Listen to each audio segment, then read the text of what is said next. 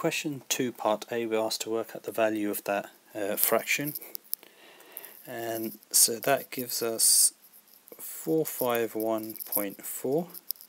divided by 14.1 plus 10.3 gives us 24.4 and then if you chuck that into your calculator you should get 18.5 now in part B we're asked to work out the value of the square root of 7.8 squared minus 7.2 squared. So you have to do each of those in part. So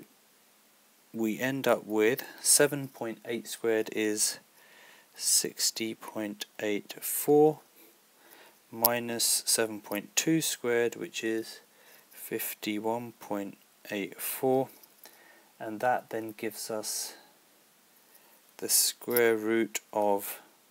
essentially 9 rounding it up and obviously the square root of 9 is 3